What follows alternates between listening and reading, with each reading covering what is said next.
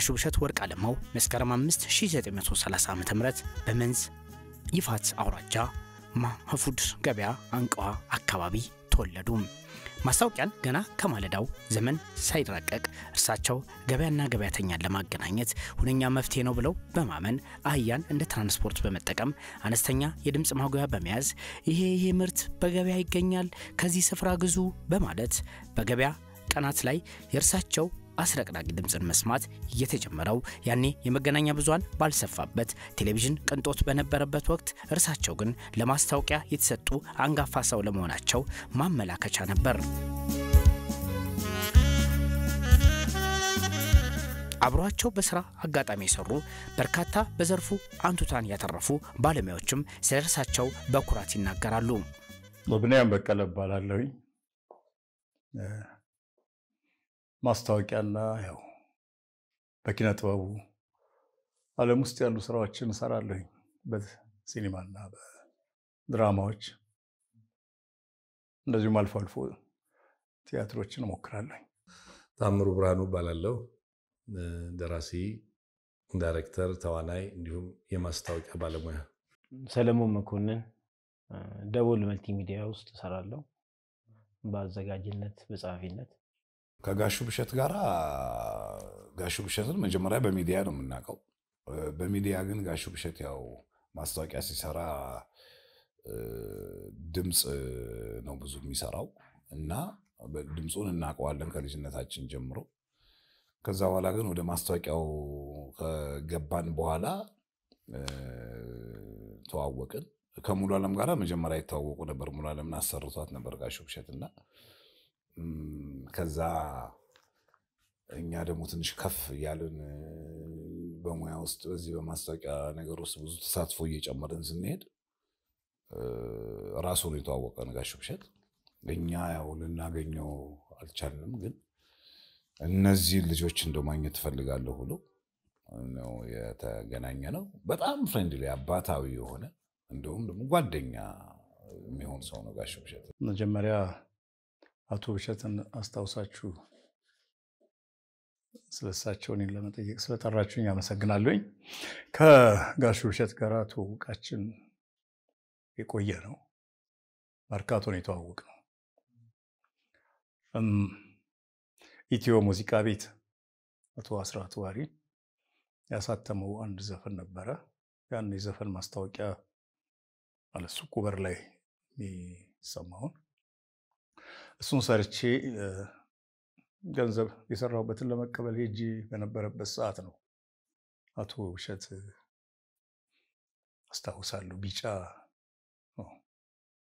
ጎመኔ ቢጫ አይነት መኪና እየነዱ መጡና ገና ከበሩ ላይ ነው አስራት ማን ነው እባክህ ተናጋሪው?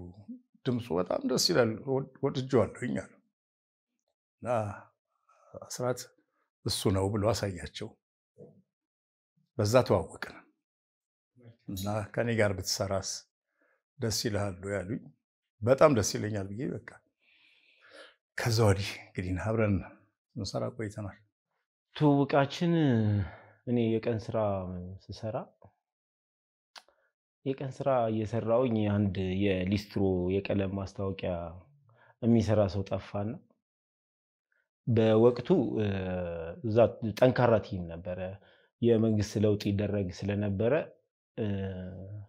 ኢቲቪ የድሮ ኢትዮጵያ ቴሌቪዥን ይሰሩ የነበሩ ሰዎች ይሰፋ ስለነበሩ ተባረው፣ አንደኛው ጌታቸው ኃይለማርያም የዜና ፋይል የፈጠረው፣ አቶ መኮንን ታደሰ ካሜራ production፣ እዛ team አሉ የ production team። እነሱ ሰው ጠፋና በኋላ የሆነ ሰው ነገራቸው ናጌት የጫማ ቀለም የሚሰራ ሰው ብዙ ወጣት ቲያትረኛ ስላልነበረ ብሔራዊ ቲያትር አካባቢ አጡና እኔ ስሞከር በጣም ቻልኩኝ።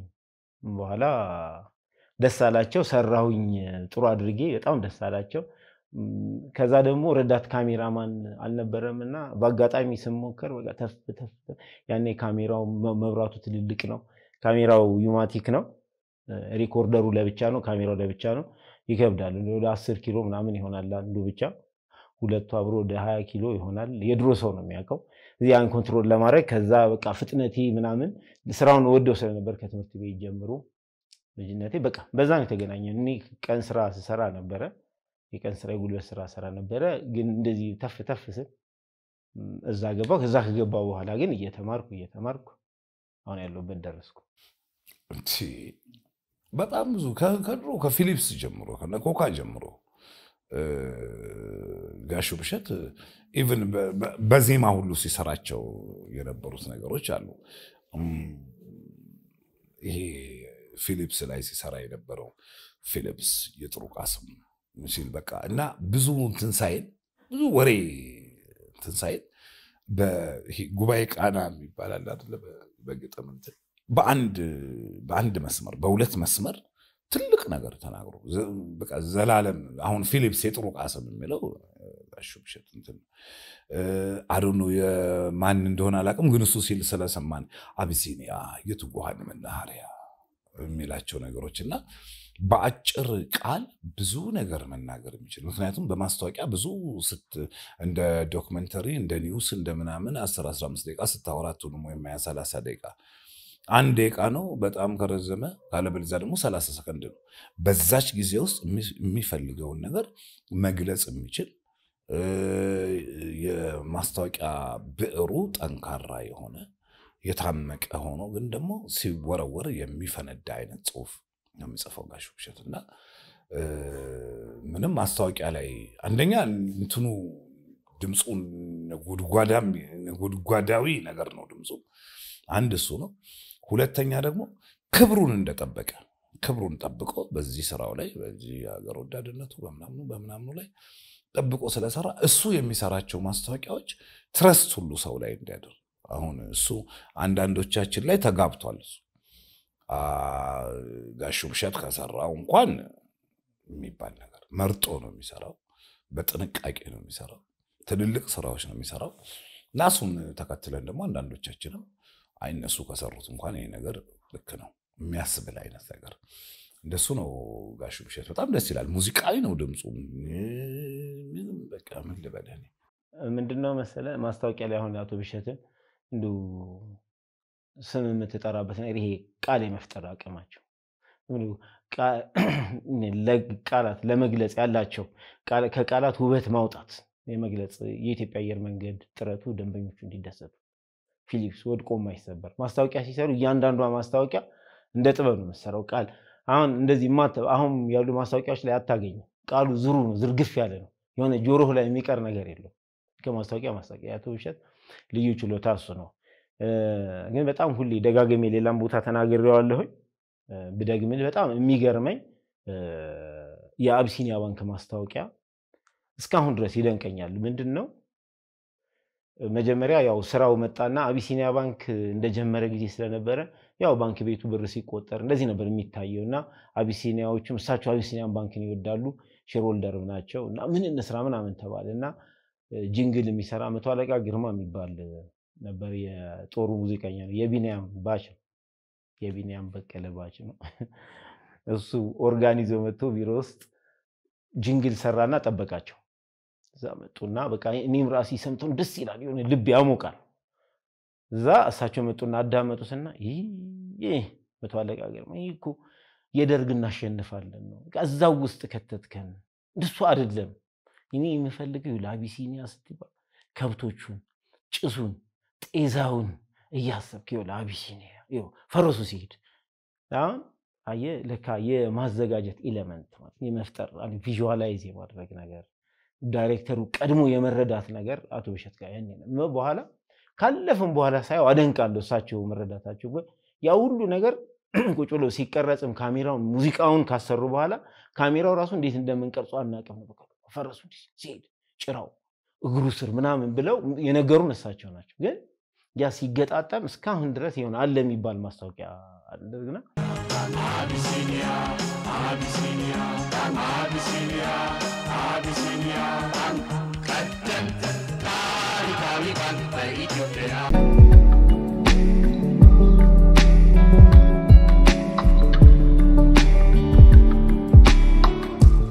የመጀመሪያ ኢትዮጵያ ውስጥ ማስታወቂያን ማን ሞከረ? የምናውቀው በታሪክ ጋሽ ውብሸት ነው። ሌላ ሰው ካለ ጥናት የሚያሳየን የለም። የሚያሳየን ውብሸት ወርቅ አለማሁ ነው። ስለዚህ ጋሽ ውብሸት በሙያው አንቱ የሚባል ግን ስለምንወደው አንተ እያልን የምናወራው ሰው ነው። ጥበበኛ ብዙ ጊዜ ያው ስለሚወደድ ስለሚፈቀር ስታየው እኮ እሱ ሲሰራ የነበረውን ነገር መስራት እኮ በራሱ እኮ ከሱ ላይ መውሰድ ነው አደለ? ሲጀመር አሁን specific ላይ ለምሳሌ የ script አጻጻፉን የድምፅ አወጣጡን ወይ ደግሞ የትወናውን ምናምን እያልክ እንትን ብዙ ልትከፋፍል አትችልም። እንደ የማስታወቂያውን ኢንዱስትሪ ኢንዱስትሪ ያቀበለና ወደ ኢንዱስትሪ እንዲያድግ ደግሞ ከፍተኛ አስተዋጽኦ እንዳለው ሰው እሱን ሙሉውን ወስደናል። የአቶ ብሸት ደግሞ ልዩ ችሎታ የሚባለው ነገር አሁን የመተረክ ችሎታ ቋንቋን አንስቶ ማስቀመጥ፣ ነጥብ ጠብቆ ማንበብ፣ ጭብጥና ይዘትን ጠብቆ ማንበብ፣ ትርጉም እንዲሰጥ ማድረግ፣ ውበት እንዲሰጥ ማድረግ። አሁን አንዳንድ አንባቢዎች ድምጻቸው ያምራል፣ ግን ዝም ብሎ አንድ አይነት ድምፅ ነው፣ የሆነ የሚፈስ ወንዝ ነው የሚመስለው። የአቶ ብሸት እንደሱ አይደለም፣ ይነሳል፣ ያርፋል። ይሄን ደግሞ ቴክኒክ ያኔም ሲናገሩ ሲያነቡ አሁን ብዙ አንባቢዎች ይቆርጡታል። እሳቸው ስርዓተ ነጥብ ነው የሚያደርጉበት። ስርዓተ ነጥብ ስርዓተ ነጥቡ ነው ድምፃቸውን የሚገራው እና ድምፃቸው ቆንጆ ብቻ ስለሆነ ሳይሆን ክህሎቱም ነበራቸው እና ይሄ ነገር ነው ትዝ የሚለኝ መቼም ጊዜውም ስለቆየ ብዙም ስለሆነ ረጅም ዓመትም አብሬን የቆየሁት እንግዲህ ከአቶ ብሸት ጋር ከገጠምኩኝ በኋላ የንግድ ማስታወቂያዎችን ሰከንዶችን ማሳጠር፣ ቃላቶችን መምረጥ፣ አንድ ቃል በደንብ መግለጽ መቻል፣ እንደዚህ አይነቱን ነገር ከአቶ ብሸት አግኝቻለሁኝ። በዚህ በጣም ነው የማመሰግነው ጋሹ ብሸት፣ ምክንያቱም ይህን ትምህርት ሰጥቶኛል።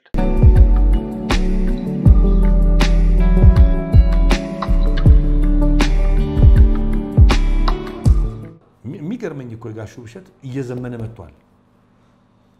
ጋዜጣ ሲመጣ ከጋዜጣ ጋር ዘምኖ መጥቷል። ከዛ ሬዲዮ ሲመጣ ከሬዲዮ ጋር ዘምኖ መጥቷል።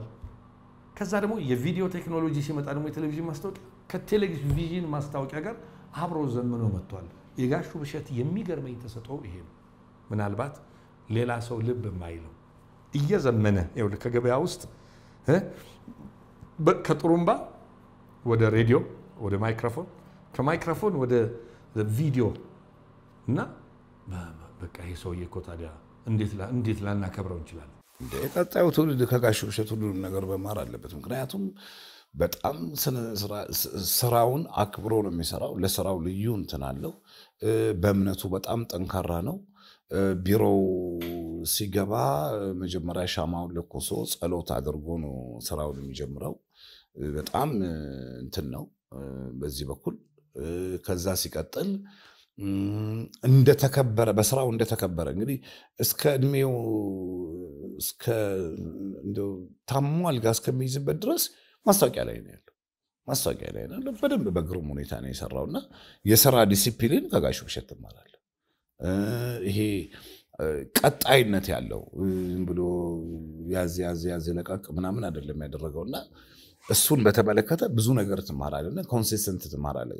በጣም አንድ ነገርን ይዞ መሄድ እሱን ትማራለህ። አንድን ነገር ከፍ አድርጎ የማየት ራስን የማክበር ምክንያቱም አንተ ራስን ስታከብር ነው አደለ ሌሎች ራስን ታከብራለህ፣ ሌሎችን ታከብራለህ። ይሄ ነገር ማህበራዊ ግንኙነት ላይ በጣም የነበረው እኮ የለቅሶ ጊዜ እኮ ማየት ይቻላል ያሉትን ይሄ የእንትን ማህበር የእንትን እድር የእንትን ምናምን የምትላቸው እኮ የማህበራዊ ተሳትፎ ውጤት ናቸው እነሱ ሁሉ እና በጣም ትልልቅ ሰዎች ቤት ውስጥ ያኔ ወዲያ ወዲህ ስንል እንግዲህ እሱ ያረፈ ጊዜ የነበሩትን ሰዎች ሁሉ አይቶ መመስከር ይቻላል። እዛ ቤት ውስጥ ሲመጣ የነበረው ሲሄድ የነበረው እንትንና ከጋሹ ብሸት ይሄ ትውልድ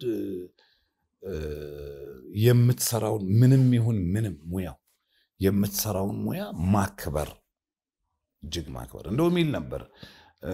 በጣም ስለምወደው ነው ስራ የሰራሁት። ብዙ ስራ መስራት ይችል ነበር አለ፣ ግን ይህንን ሙያ በጣም እወደዋለሁ፣ በጣም ደስ ይለኛል ይላል። እንደው ምን ይላል? ማስታወቂያ ሰራተኛና ፀጉር አስተካካይ እኮ ሀብታም አይሆንም አይርበውም ይላል ብሸት እና ሀብታምን ባትሆን በቂ ነገር እስካገኘ ድረስ የምትወደው ሙያ ስራ በቃ ይላልና እንደውም በጣም በህይወቱ ደስተኛ ሰው ብሎ የሚገልጸው እኛም የምንስማማበት በህይወቱ ደስተኛ ሰው የሚወደውን ስራ የሚሰራና ስራውን መዝናኛ ያደረገ ሰው ስራህን መዝናኛ ካረግ ከዛ ደግሞ የምታገኘውን ጥሪት መቀማመስ ከቻልክ ጋሹ ብሸት ወርቅ አለማው እውቅናቸውን በመጠቀም የተለያዩ ዓለም አቀፍ እና በሀገር የሚገኙ ማህበራትን በሊቀመንበርነት ብሎም በክብር አባልነት እንዲሁም አምባሳደር በመሆን የተቋማትን ስም እና ክብር ከፍ በማድረግ የድርሻቸውን ተወጥተዋል። በተለይም በኢትዮጵያ ቀይ መስቀል ማህበር የክብር አምባሳደር በመሆን ደሜን ለወገኔ በማለት ዜጎች የደም ባንክ በመጠቀም ክቡር የሆነውን የሰው ልጅ ሕይወት እንዲታደግ ደም ከመለገስ ጀምሮ በዚያም በወርቃማ ድምፃቸው በሙያቸው ማስታወቂያ በመስራት እስከ ህልፈተ ሕይወታቸው ድረስ በክብር አገልግለዋል። ደም በመለገስ የወገንን ክቡር ሕይወት እናትርፍ። ጋሹ ብሸት ትልቅ ሰው ትልልቅ ኩባንያዎችን ትከሻው ላይ ተሸክሞ ያስተዋወቀ ነው ያስተዋወቀ ነው። ከዘመኑ ጋር እየዘመነ የሄደ ግዙፍ ባለሙያ ነው። ሁሌም ሁሌም እግዚአብሔር ነፍሱን በመንግስተ ሰማያት ያኖርልን፣ አሜን። ጋሹ ብሸት በሄዱበት መድረኮች ሁሉ የግርማ ሞገሳቸው ማሳያና መገለጫ የሆነው የክብር ካባቸውም ቢሆን አይለያቸውም ነበር። ሰው ወዳድ፣ የፍቅር ሰው፣ ለሙያቸው ታማኝ፣ ሁሌም በሚዲያዎቻችን በስፋት የምንሰማው የግርማ ሞገስ የሞላው ወርቃማ ድምፅ ድንገት ጸጥ አለ። የምድር ላይ አስተዋጽኦን አገባዶ ወደ ሌላኛው መንደር አቀና። ያ ውብ ፈገግታ በቅጽበት ዝም አለ።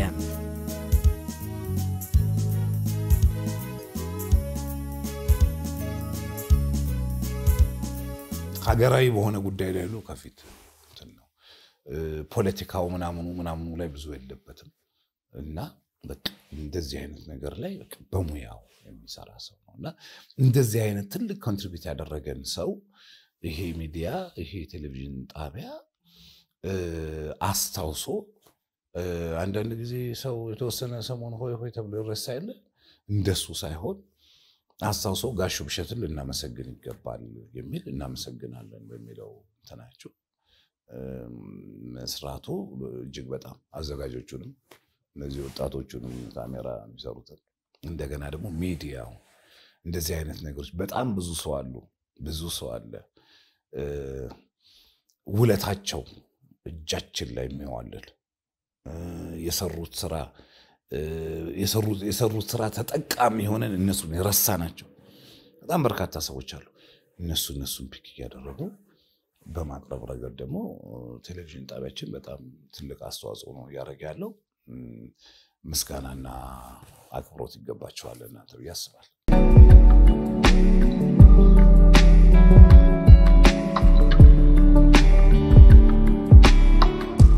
ጋሹ ብሸት ወርቅ አለማው ሰላምን፣ አንድነትን፣ የሀገር ፍቅርን የሚሰብከውን አንደበታቸው ተሰብስቦ ወደ ዘላለማዊ ቤቱ አቀና። እኛም በዛሬው የእናመሰግናለን ፕሮግራማችን አንጋፋው የማስታወቂያ ባለሙያና ባለብዙ ክብርና ግርማ ሞገስ ባለቤት የሆኑትን የጋሹ ብሸት ወርቅ አለማው በሕይወት ዘመናቸው ላበረከቱት የላቀ ግልጋሎት ምስጋናችን የላቀ በመሆኑ ብዙም ለሚባልላቸው አንጋፋ ባለሙያ ጥቂቱን ብቻ አልን። ሞት የማይቀር የተፈጥሮ ግዴታ ነውና በአካል ቢለዩንም በስራቸውና በምግባራቸው ስማቸው ሁሌም ከመቃብር በላይ ከፍ ያለ ነው። እኛም ነፍሳቸውን በአጸደ ገነት ያኑርልን እያለን የዛሬውን የእናመሰግናለን መሰናዶ በዚህ እየቋጨን የፕሮግራሙ አዘጋጅና አቅራቢ ይድነቃቸው አለኝታ ነበርኩ። ቸር ጊዜ እየተመኘው በዚሁ ላብቃ። ሁሌም መልካም ስም ከመቃብር በላይ ይዘልቃል። እናመሰግናለን። አሻም ታመሰግናለች። Música